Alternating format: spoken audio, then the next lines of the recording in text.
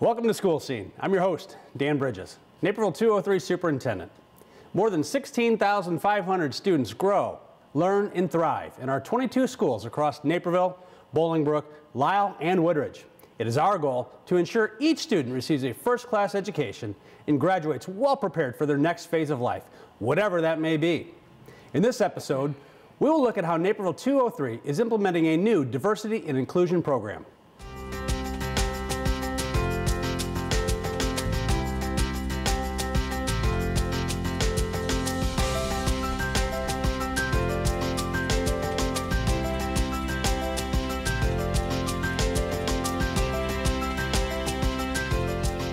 Dr. Rakeda Leaks joined us this school year as our new Executive Director of Diversity and Inclusion.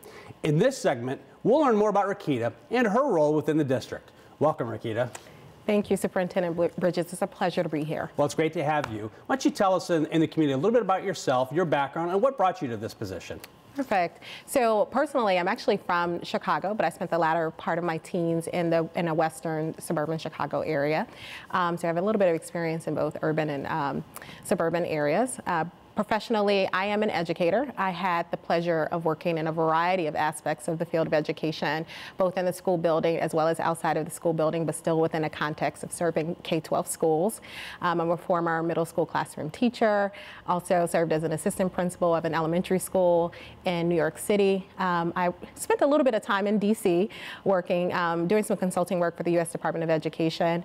Um, I also um, have 11 years of experience in human resources for two large urban school districts, uh, or more specifically, New York City Department of Education, um, as well as Charlotte Mecklenburg Schools. And um, what actually brought me to this work um, is honestly just the, the, the, mixture of my personal and professional um, experiences. It certainly gave me a heightened awareness of the inequities that unfortunately exist um, in schools throughout the United States, regardless of school setting. So um, there are challenges that we all face in suburban, urban, and rural areas. And by me having that experience working in a variety of aspects of education, I, I had the, the luck, the fortune to be able to, to see that firsthand. Um, and so that's what really made me interested in doing this work as an educator. You know, you're really passionate about like growing students, getting them to learn and do more. And when you see that that's not consistently happening um, in a variety of contexts, it makes you think differently about, okay, well, what should we be, we be doing differently to better serve the needs of all these different types of students? And also another thing that brought me to this work is that, you know, the United States is becoming increasingly more and more racially and ethnically diverse, which is also reflected right here in District 203. Um, our student population is represented about 63% white students, 17% Asian, 11% Hispanic or Latinx, 5% Black African American, and 4% of students who identify as multiracial. Um, and so, you know, to really know and see that, like, okay, we are a diverse district. And so how are we serving all of those different student groups and student populations? And we do have some, some tough challenges and realities that we must face is that not everyone is experiencing the district in the same way. So I'm really excited to be here to serve all of those different student populations as well as our staff. Well, your excitement is just contagious. We appreciate you being here and your vast you. background has just been nothing but an asset to the school district already and to this community. Thank you. When you think about your role and the work that uh, you see ahead of you, what are some early goals that you have? What are some things you hope to achieve early in this position? So, of course, I have some big, lofty goals that'll take a while to get done. Um, you know, ultimately, what I hope is that as a district, we get to a point where diversity is really not thought of something separate, but it is just woven into the fabric of who we are and what we do. Um, and, and that will be seen in our outcomes as far as like how students are learning and growing and how um, our community stakeholders as well as our students are actually experiencing the district. So that's kind of the long-term um, aspiration that I have. More short-term, I really hope to work with some of our departments, such as, for example, our Human Resources Department, to ensure that we have a diverse workforce that's much more reflective of the student population that we serve, and also working with our Learning Services team to ensure that our curriculum is culturally responsive of the diverse backgrounds and needs of our students. Right. So you're about halfway through your first school year and your first year here in Naperville.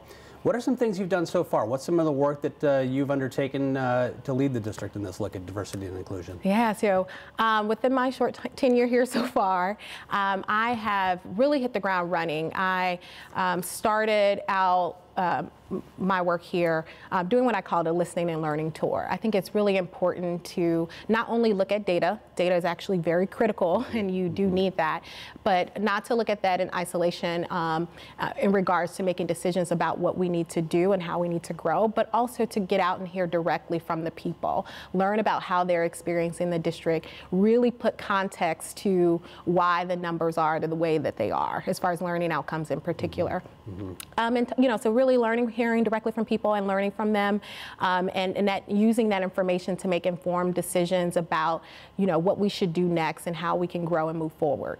What do you perceive to be some of the greatest successes in Naperville in regard to diversity and inclusion? Some of the strengths, perhaps, that uh, you see so far in the school district? Yeah, there are a lot of things to celebrate in this school district. First and foremost, that we have a diversity advisory committee that's been in existence for a while. Um, and just having that committee in and of itself shows the, the commitment that the district has as far as getting input from the community members and other stakeholder groups um, regarding how we can do better. Um, and it is a very diverse group of people representing a diverse group perspectives and experiences.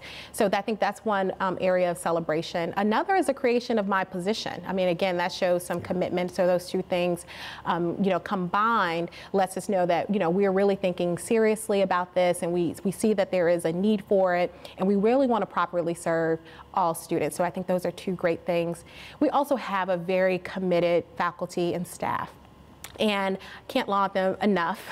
it's indicative of the mm-hmm. fact that we are an award-winning, high-performing school district. They're doing a lot of great work, and I've had the pleasure of working with some of them, um, you know, on the onset to just start thinking about mm-hmm. diversity, mm -hmm. and they have been very open and willing to learn new things and learn new approaches about how to reach um, students that unfortunately we hadn't been able to reach in the past. Well, we do have a number of successes, a number of things for which we are proud. As you mentioned, one of our, our greatest sources of pride right now is just the creation of this position. Mm -hmm. But as a district committed to continuous improvement and trying to get better, what do you see as some of the areas of greatest improvement that, that we need to try to address? So we do have an achievement gap between low-income students and students from more um, middle class, mm -hmm. upper middle class backgrounds. And that's something that we really need to be honest with ourselves about and really look to see why does that achievement gap exist? And not just look at, you know, what students can be doing differently, but also look at what we could be doing differently um, in order to change the tide on that. And we also have an achievement gap between Hispanic and uh, black students students and white and Asian students. So those are some areas of growth for us that we really need to think deeply about um, and, and, and, and make some changes for. Great. So you'd referenced the Diversity Advisory Committee. Tell the community a little bit more about that group. Who makes up that group? What role do they play? And, and what are some of the things that you've done with that committee so far this year? Great question. So the committee is comprised of um, at least one representative from every school, a staff person. It could be a teacher or a counselor or some other uh, staff person at the school. And then we have um, at least one parent or community stakeholder representative from each school as well. And so, um, and principals um, as in, in, with their their staff they make decisions about who that person should be.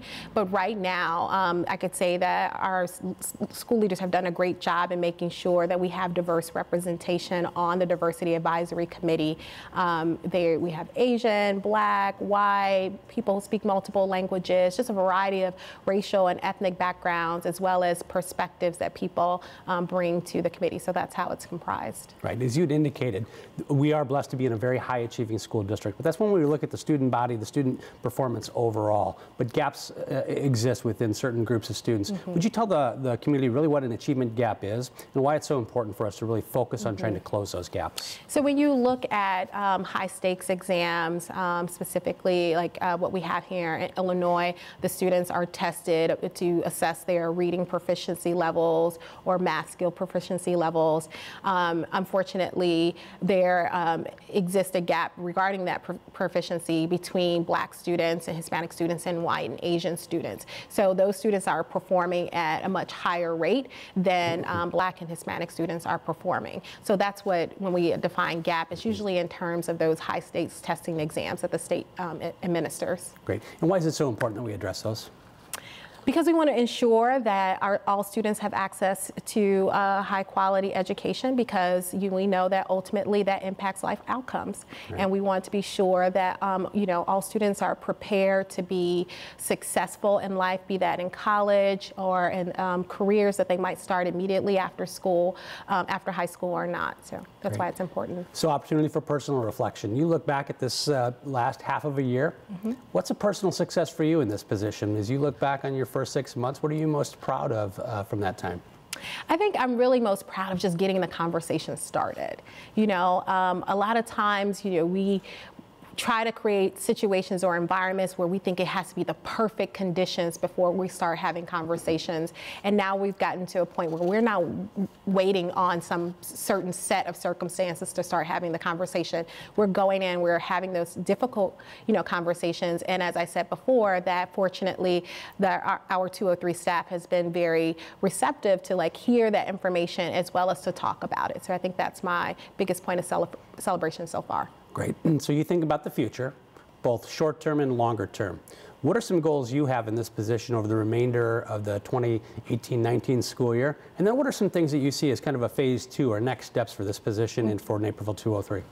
So right now, one of the things I'm working on um, is the planning. Uh, there are two things I'm working on, and they're both in the planning stages. That I hope by the end of this year we will have that figured out and sorted out. Um, first would be um, really thinking deeply about a district-wide implicit bias training. So I'm working with our learning services team and our HR team to think about like how that might be. Um, another is to take a, a, look at our current curriculum, doing like a curriculum audit to see um, where those opportunities for us to be more culturally responsive. Um, so the planning stages for those, and then hopefully in a phase two, we'll go move from planning to implementation of the training for implicit bias, um, as well as um, you know possibly identifying some ways to improve our curriculum so that it's more culturally responsive. Very quickly, at the end of this school year, you look back on your first school year here. What's one thing you look to to measure success for yourself?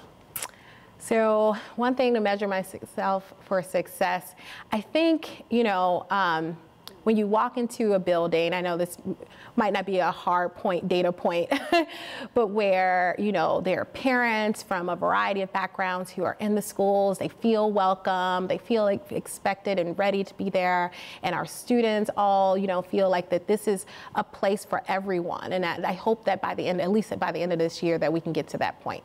Those are great goals. Thank, Thank you. you. Up next, three of our teachers who are teaching the new Career 203 equity courses offered by Naperville 203.